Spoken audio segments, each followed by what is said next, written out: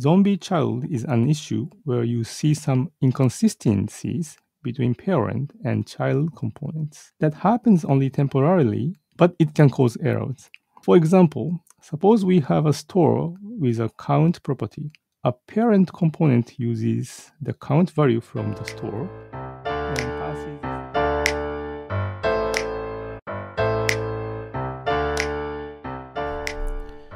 This is 20 Minute JavaScript, a weekly show where I, your host, interview members of the JavaScript community about all topics concerning JavaScript. The 20 Minute JavaScript Show is brought to you by Open Replay, an open source session replay platform meant for developers. If you'd like to know more, visit openreplay.com. If you'd like to be on the show or suggest a topic, find us on Twitter at the20minutejs.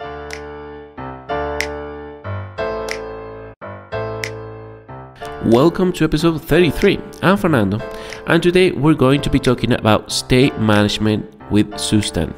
If you don't know what Zustand is, it's a tiny state management library for React, and who better to discuss it than its main maintainer, Daishi Kato.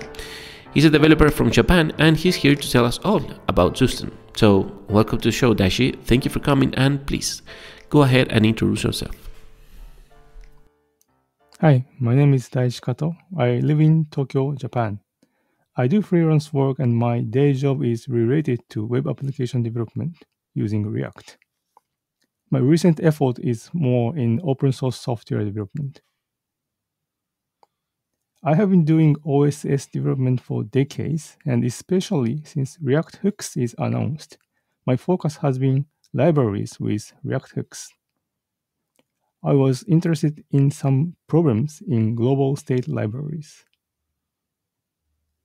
One issue for me is memo- memoizing selectors. Selector itself is fine, but using it for render optimization sometimes requires memoizing, memoizing functions. I feel it's very unintuitive. Another issue for me is React context propagation. It's well known these days, but context propagation is not suitable for global state implementation. To solve those issues, I developed a few libraries, and one outstanding one is called React Tracked. It's a library that follows the use state and use context pattern and provides automatic render optimization. Meanwhile, I joined the Poimandres team where people develop React Spring, React 3 Fiber, Zustand, and so on. Since then, I've been the main developer of Zustand. Zustand is great, but there is one little thing left for me. It doesn't solve the selector issue. For more complex selectors, you need to memorize them. That leads to me and us to build another library, Jotai, and another one called Valtio. All right. Perfect. It seems that you're actually quite active on the React state management space, to be honest. But today we're going to be talking about Zustand specifically and what it means for and what it means for the you know state management space and what can you get as a developer by using it. So let's focus and let's start on the at the beginning. So yep. uh, can you kind of give a brief explanation of what is Zustand and especially like you said you're not the creator of it but you're the main maintainer of it so why keep working on it why move it forward considering how many alternatives are out there right now when it comes to state management yeah Zustand is a very tiny library for creating global state for react with hooks it's very small. It's so small that I don't think it even needs to be a library. It's also known as an unopinionated library. People understand how it works and how, how to use it, how to use it pretty easily. There are many alternatives out there, and I even myself developed several ones. Among those, Zustand is outstanding for its small size we will keep it small because it's almost the reason why it exists. That means anyone can create a similar library. So as well as keeping it small, we also focus on TypeScript support. Zustand API was not developed with TypeScript first. So typing the API correctly is very challenging. Our TypeScript code is maybe three or four more times larger than what will be written in JavaScript. All right, interesting. Uh, so you added TypeScript support later then. Was it to serve a specific purpose? Was it to add type safety into the state management space like others are doing? Or essentially, why else go through the trouble of adding so much code into it just to support TypeScript? I think it, it's written in TypeScript from the beginning, but it, it middleware usage is designed without TypeScript in mind. That's my guess. Or we can say the middleware often modify a store itself, which is generally not TS friendly. So in V4, we added the full TypeScript support with middleware. All right. So moving forward, what benefits do you get as a developer from using Zustand uh, instead of one of the alternatives? Yeah, as I said, Zustand is small. Being small means developers can easily read the code and understand it. So one of the biggest benefits is its understandability and predictability. These are less discussions about how it should work. How it works now is the correct behavior. In this sense, its JavaScript implementation is very mature. All right. So you're saying that the focus is developer experience, essentially. You're providing like a simplified yet powerful way of dealing with state instead of having to use like big libraries like Redux. Are there no other benefits such as know, performance, flexibility, customization? Yeah, it's pretty simple, and I think the biggest benefit is its size. It's extremely small. I can just show in a tweet. No other similar library can beat it. All right. Uh, interesting that it fits in a tweet. so on the README of the project, actually, you call it a small, fast, and scalable bare bones state management solution using simplified Flux principles. So that last part caught my eye. What are the exact principles from Flux that you're taking into Zustand? Yeah, to be honest, because I'm not very familiar, I would avoid discussing what Flux is but the principle is that the state values are immutable, and you can only update it by setting a new state value. If we consider just one store, it's one way data flow. We dispatch updates to the store, and the store notifies the up- updates. Right, very basic, very simple workflow. I like it. Mm-hmm. so, what kind of principles did you leave out, if any, and, and why? I think we didn't left anything.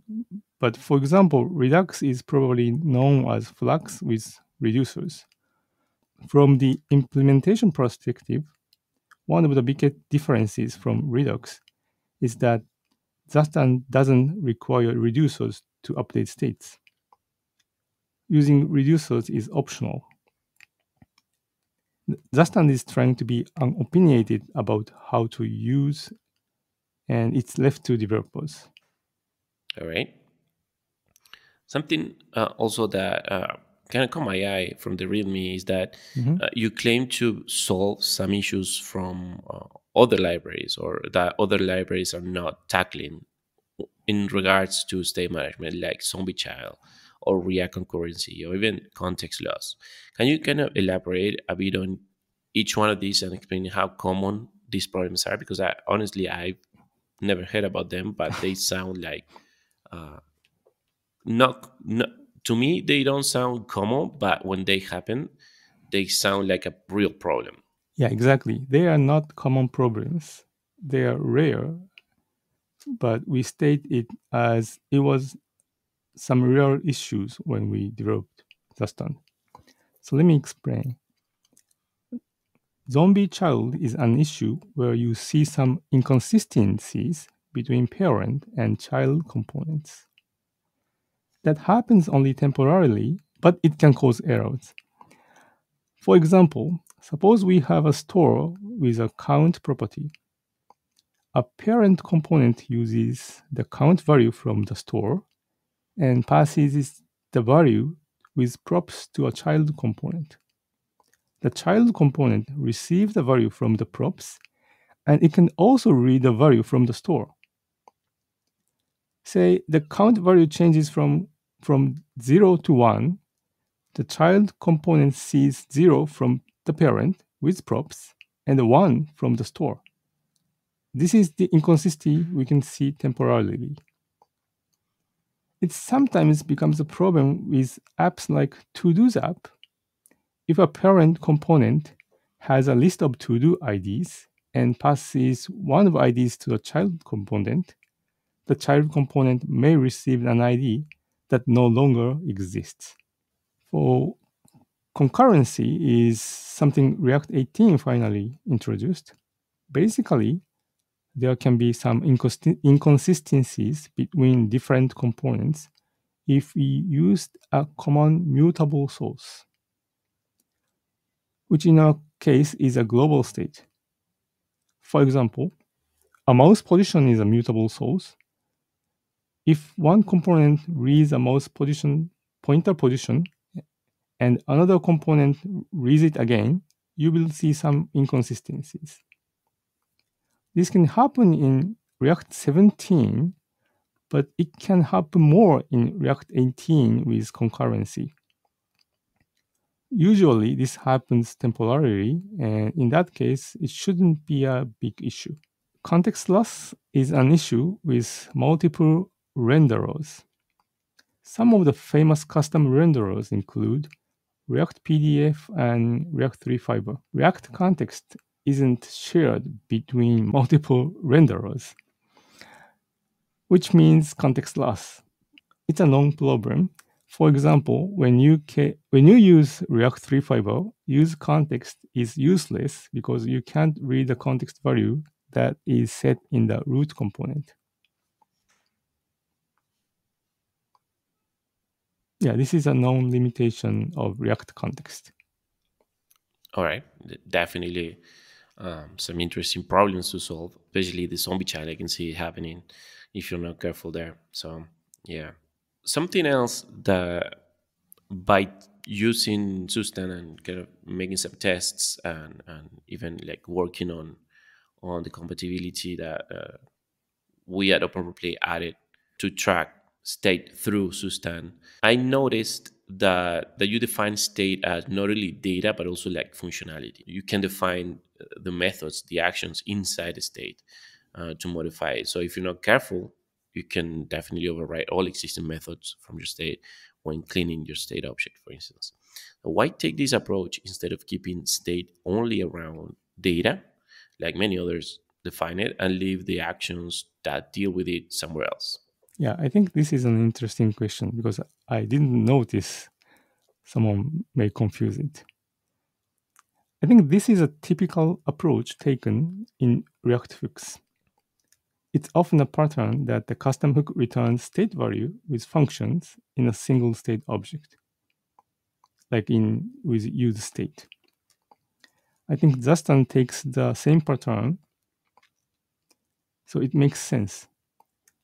However, I'm recently suggesting to separate method outside of state object as a new pattern, and because it allows code splitting better. As the usage is unopinionated, both are valid patterns. All right.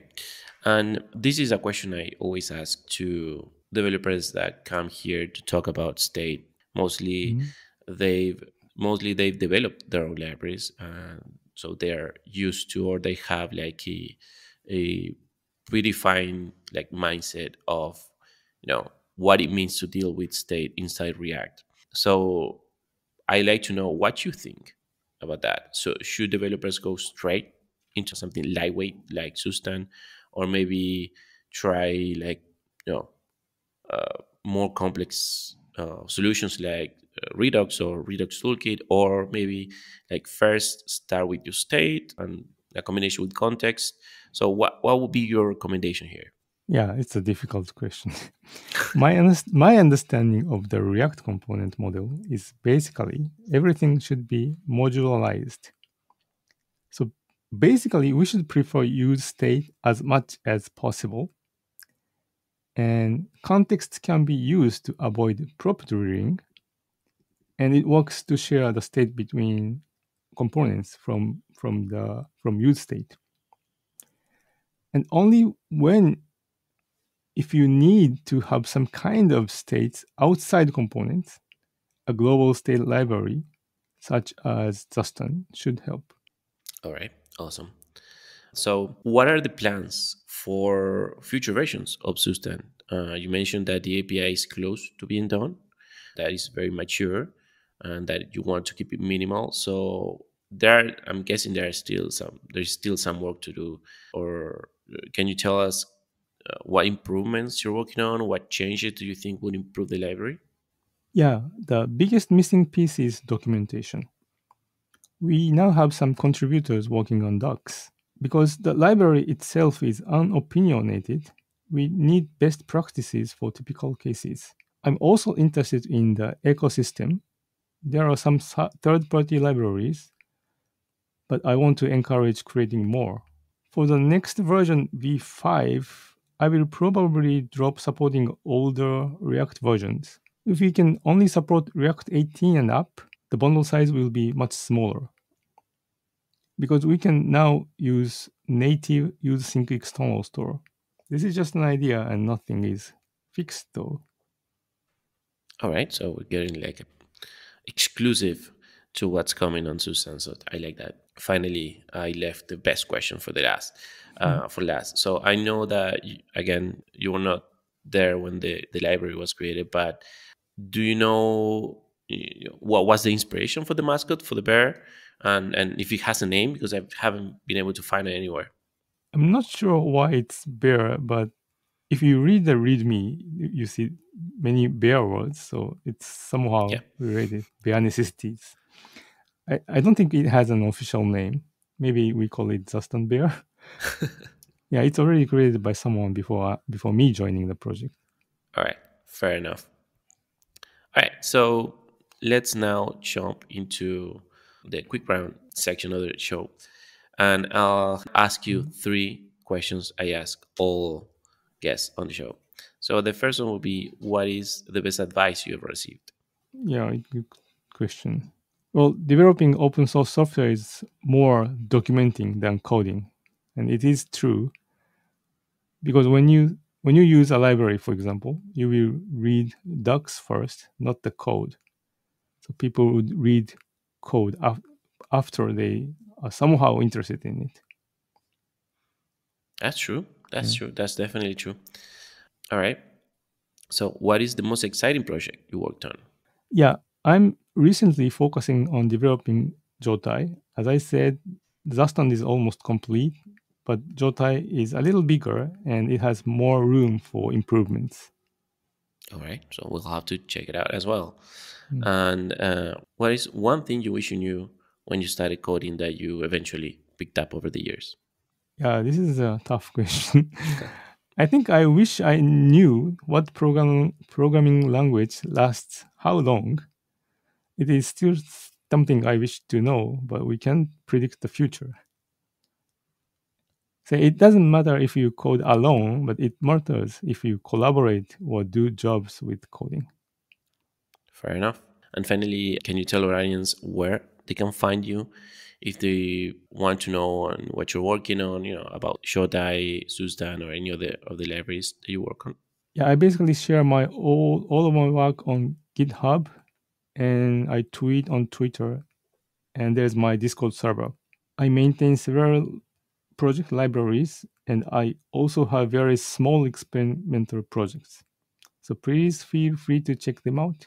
And if some of them are interested to you, let's collaborate. Awesome. We'll add links to all those the GitHub, Twitter, and Discord servers on the show notes so people can find you there. All right. And that is it. Thank you, Daishi, Thank for you. coming in on the show and, and talking about Zustand. Hopefully, anyone who didn't know about the library will be interested in checking it out. So, I hope they like it. yep, absolutely. Uh, it's very it's very easy to pick up. Actually, I, I picked it up, so it's gotta be easy. anyway, so thank you again, and everyone else listening. Thank you for listening. Catch you on the next one. And that's a wrap for this episode. Thank you so much for listening. And if you haven't yet, take 10 seconds and leave a review of the show on your podcasting app. It will help us grow and reach more developers. And while you're at it, follow us on Twitter at the 20 Minute JS. This episode was brought to you by Open Replay, an open source session replay platform for developers. Visit openreplay.com to know more. And I'll see you back here next week.